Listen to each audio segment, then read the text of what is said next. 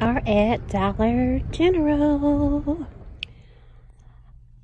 Okay, so my store is almost out of the Cottonelle.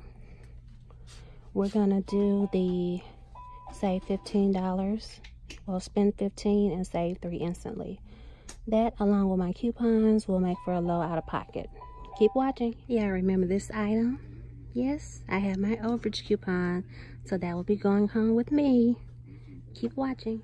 Okay, so I want to do the Febreze deal because I have a coupon that I'm going to use along with my $6 off 25 And look at this shelf. They don't have any singles. At least the singles that they have, I don't like the scent. So let's go look for some more. Keep watching. What I found, you have to always look on the end caps. They have them all the way back here. So I'm going to get two of these and two of these down here and use my coupon. Keep watching. Okay, so we're gonna get the Bic Soleil. I have a $3 off coupon. That's gonna make them free.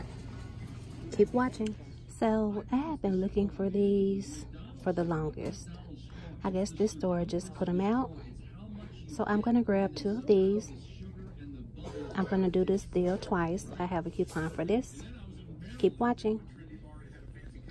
Y'all just bypassing all the free stuff. We have a coupon for this and I'll make it absolutely free. Keep watching. Okay, this is the front of my basket. And this is what I have in my basket. I'm going to do two transactions on two different accounts.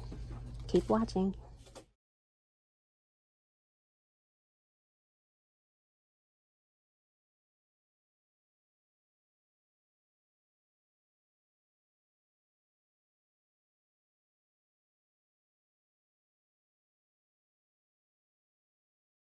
Okay, you guys, I'm back home.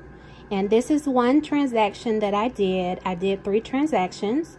I have two of the Cottonelle. I have the Dawn Power Wash um, Squeezer. I have the Bic Soleil. I have the Airwick. And I have the Scott Comfort Plus. Here's my receipt. As promised, I told you I'll show you my receipt every time. And I spent $7.80. Yes, $7.80 on all of these items. Mind you, that Cottonelle right there, that is the 12 row. Scott is the 6 row. I took advantage of the store promotion that they were having. I saved a total of $23 and 50 cents.